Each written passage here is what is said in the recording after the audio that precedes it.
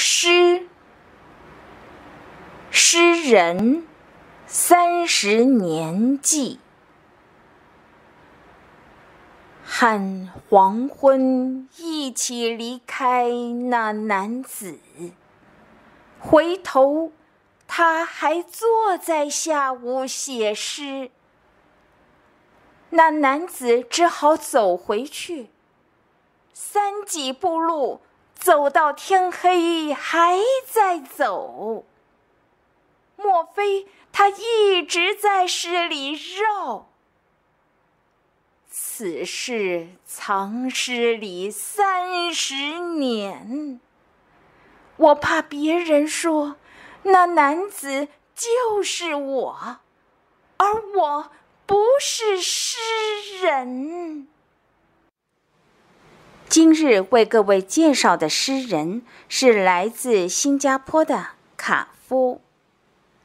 卡夫原名杜文贤，祖籍中国广东，一九六零年生于新加坡，一九八五年毕业于新加坡国立大学获文学士，一九八六年获新加坡国立大学中文系荣誉学士。毕业后担任教职至今。一九七八年开始文学创作，写小说、散文、诗及评论等，著有散文集《生命的神话》，中篇小说《我这烂男人》，诗集《我不再活着》。诗人为什么取名卡夫呢？他说。我取名卡夫，正是感觉人不能自在的活着，上下不得，左右难以转身，总是挣扎在生死细缝之间。关于卡夫的诗观，他在发表的一篇文章里开头这么说：“生命不过是一首诗的长度。”接着继续说：“诗是诗人的伤口，一写出来，血就流了。伤口不用说话，诗人流的血千真万确。诗人的一生其实就是诗的一生。许多诗人遭遇的不幸，或者感受到周遭人的悲苦命运。”激发了他诗写的冲动。从这个意义上看，人生是悲伤的，诗是诗人唯一的出口。他在现实生活中种种不如意，都借着诗发泄了，情绪也由此获得释放。诗也填补了他在现实生活和精神世界的差距。说到这里。卡夫做了一个结论：诗即是泪的化身。不同诗人对他做了不同解读，而有了不同的面貌。卡夫继续解释：诗作为我们窥探诗人对这个世界观感的视窗，如果接受了悲观意识。它自然就是泪的化身。诗人写诗，就有如把隐藏在内心深处的伤口揭开，让人接触到生命的真正意义。认清悲剧存在必然性的目的，不是要对人生感到绝望，而是要珍惜与把握当下能有的一切。诗人对许多不平无能为力。却无处可逃，唯有通过诗写，方能使生命不会只是一场毫无意义的生老病死过程，也才能超越生死而存在。诗，仅是诗人身上的伤口吗？不，卡夫说。诗人把伤口净化成出口，伤口就不再是伤口，不但抚平自己的忧伤，也获得重生的希望。我不再活着是卡夫第一本诗集的名字。他说：“不再活着不是指生命意义的结束，而是很多时候我并没有活着，灵魂早已宣告死亡。幸好我还能用诗书写悲伤。有些人活着。”其实早已死去，因为他的灵魂已不存在，形同行尸走肉。我说我不再活着，可以对照我笔名的意思，还有我的诗观。人生是一场悲剧，悲剧让诗人有了力量去寻找出口。至于诗人说的“人生是一场悲剧”，并非要读者存着悲观看待人生，反倒是要读者接受苦乐人生本来就少不了苦的事实，且终有离开世间的一刻。无论是活着时面对的挫败与伤痛。或是死亡前面对的遗憾与不舍，多少都会伤悲。若在关照诗人说的，认清悲剧存在必然性的目的，不是要对人生感到绝望，而是要珍惜与把握当下能有的一切。这灵魂早已宣告死亡的灵魂。应该是指当初悲痛的那颗心，不让心陷在悲伤里，而让它借由书写成一首诗来走出阴霾。关于我这样的解读，也已获诗人本身认同。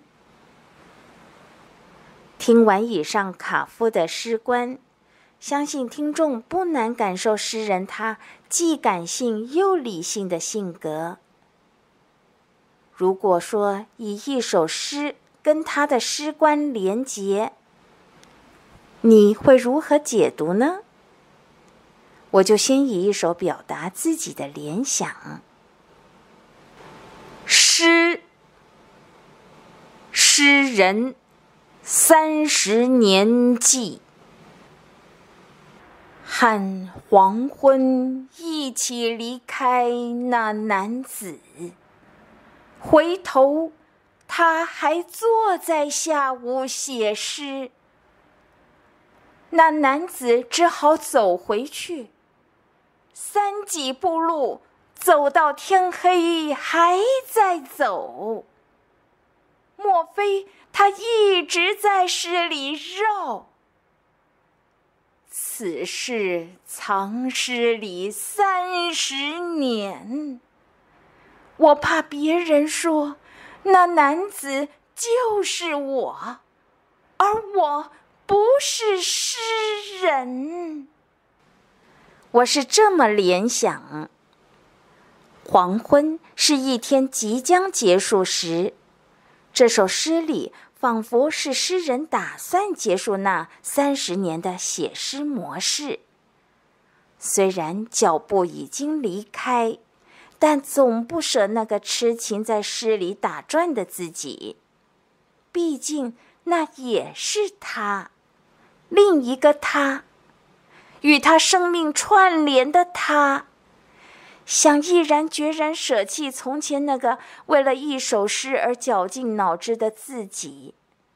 然而，过去自己创作的习惯，再怎么令现在的自己叹息，总还有惺惺相惜的怜悯吧。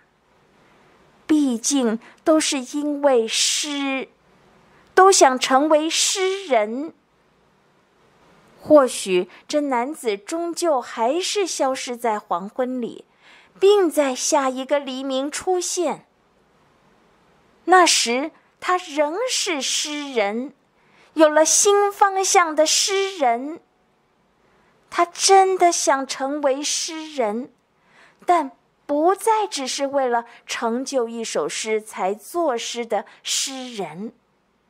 不是叛命思考用哪些词汇完成一首诗，而是用真感情书写真实生活。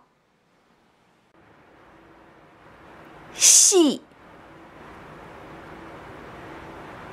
日子瘦成风，也无处转身，任由摆布。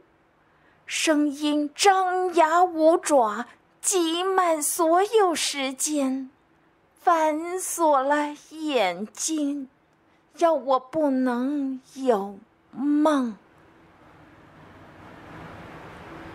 出走的右耳，留下左耳，不做抵抗。想象远方有光，已经。驮我跃出困顿的身体，方觉，即使是真，也穿不出天地的缺口。我不再活着，悼念无有卡夫。